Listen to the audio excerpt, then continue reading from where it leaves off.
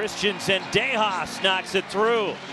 His dad, Luis Zendejas, has to be thrilled, a former great kicker here at ASU.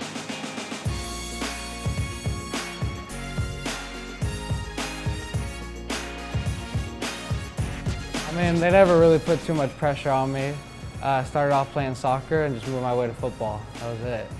Actually, I was a little disappointed he dropped soccer to go to football to our point because he was a very good soccer player. But then I was the same way. I did the same thing to my father.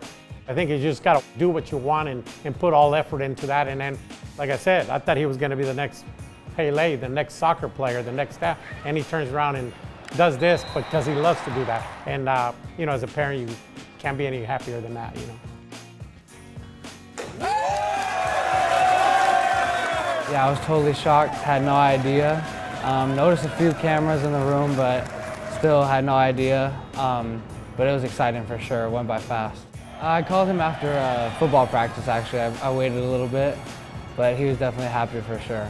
Well, it's good. He's trying to tell me that he called me after practice, but it actually took him almost a full day.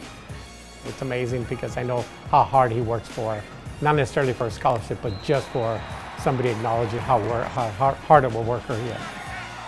He could probably kick further, but I'd say I'm more consistent for sure. That's, he's for sure. He's definitely there. I think I can impress everybody by the distance, but he, at the end of the day, like I tell him, I probably get the looks, he probably gets the job for the consistency.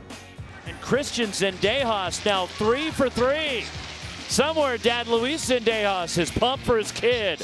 Cristian, you gave him the ring? Yes, sir. I just came home from that, I believe it was a bowl game, I just gave it to him right away. Tell him the truth, he loves his dad.